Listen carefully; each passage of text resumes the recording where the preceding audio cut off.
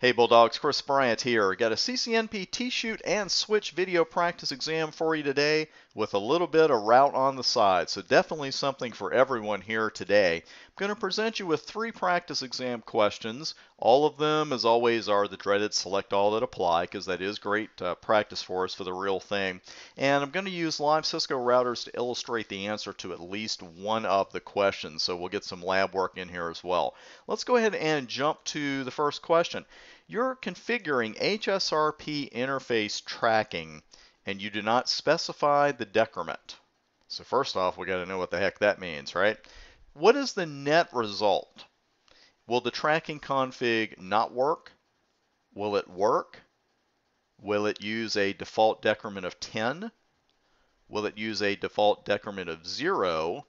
Or, as we've seen so many times on live equipment, if you leave out a required value, will the router not allow you to even configure this feature without specifying the decrement? Okay, a lot of stuff going on there. We're going to hop to the next question, but if you need to pause the video to take a little extra time, that's fine with any of the questions.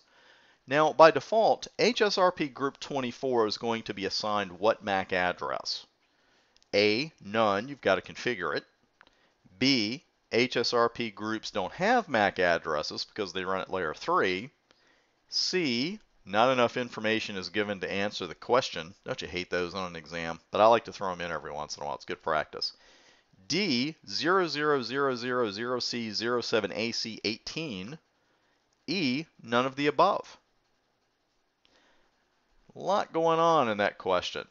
Now let's have a good old-fashioned troubleshooting question here. This is a classic. You've probably seen this in a lab. Spoke routers in your EIGRP network are not receiving routes advertised by other spokes. There's only one hub, and that hub uses only one physical interface to reach all the spokes.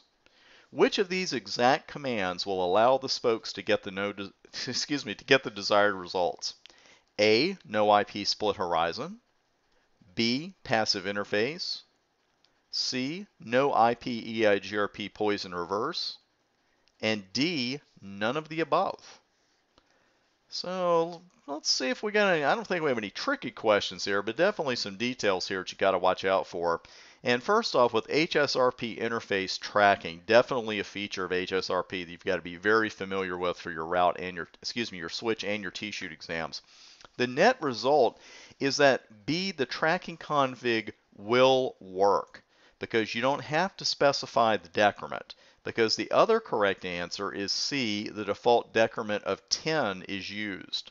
Now you can optionally change that, but again, if you don't specify it, it will work and it will use the default decrement of 10. Now, HSRP group 24 will be assigned what MAC address? And you have been given enough information to answer the question. and The information is right there, 24. And the correct answer is D.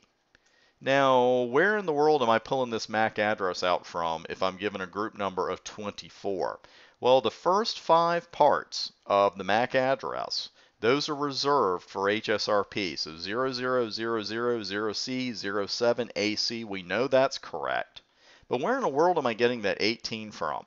The key here is that your group number, which I'm referring to in decimal here, is going to be in hex when the MAC address comes up. So don't let that throw you because you're looking at 18. It's like, oh, the crap, did it come up with 18? Well, in hex, you know, let's take the decimal 24 and walk through that real quick. If you have the decimal 24, you have one unit of 16, and then that has a leftover of 8, a remainder of 8, and that's where you get the 8 from. So it's just 1 8, just like that.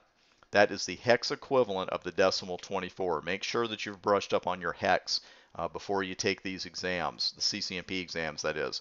Now, spoke routers in your EIGRP network aren't getting routes advertised by other spokes. The second part of the question, there's only one hub and that hub uses one physical interface to reach all the spokes. That tells us what the problem is right there. It's split horizon, right? It's one of the first things you learned about when it comes to routing uh, in your CCNA studies. But a little bit of a red flag here when I ask which of these exact commands would allow the spokes to get the desired routes. Now, actually, the answer is D, none of the above.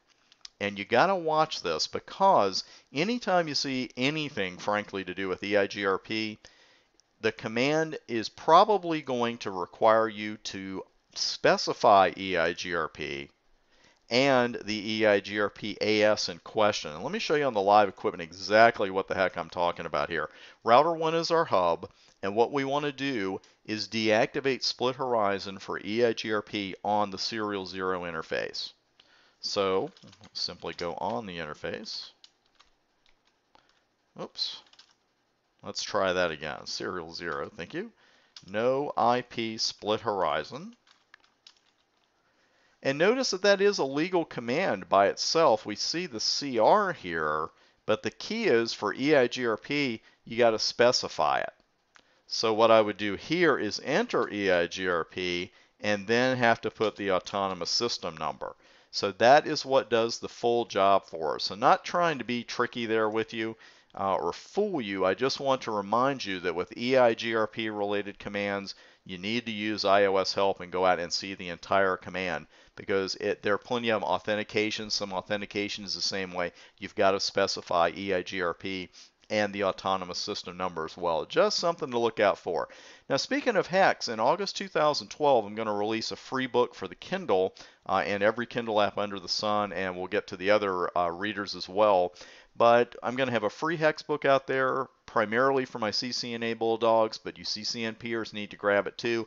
I'll have some other free ebooks for you as well, and all of our materials will be Kindle and Kindle app and iPad friendly uh, probably by the end of September as it looks right now with the CCNA material. But I invite you to join me out on Twitter, on YouTube, on our blog, and Facebook as well, because as each book is ready, free and otherwise, uh, we're going to announce it there, and none of the books are going to be over $9.99, so it's a fantastic value for you as well. Thanks for taking today's video practice exam. I'm Chris Bryant, and as always, thanks for making TBA part of your CCNP success story.